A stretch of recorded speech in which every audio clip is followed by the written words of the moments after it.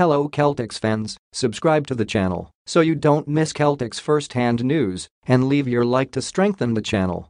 In what may have been a preview of an Eastern Conference playoff matchup, Payton Pritchard had a game-high 30 points, 14 rebounds and 11 assists to help the Boston Celtics defeat the visiting Atlanta Hawks 120-114 on Sunday in the regular season finale for both teams.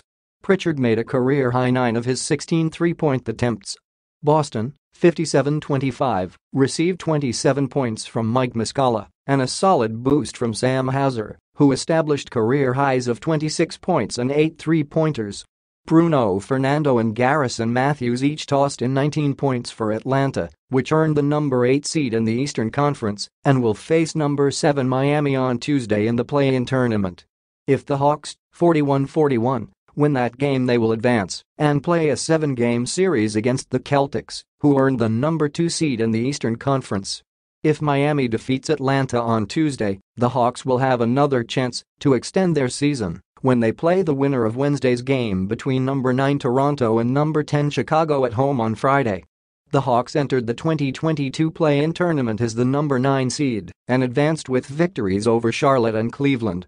Atlanta had a 31-29 lead after one quarter and led 64-61 at halftime but the Celtics outscored the Hawks 39-26 in the third quarter and had a 10-point lead entering the fourth.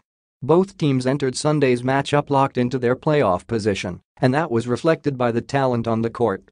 The Celtics played without six players who are regularly in their rotation, Malcolm Brogdon, back, Jaylen Brown, finger, Al Horford, back, Marcus Smart, neck, Jayson Tatum, hip, and Robert William, knee.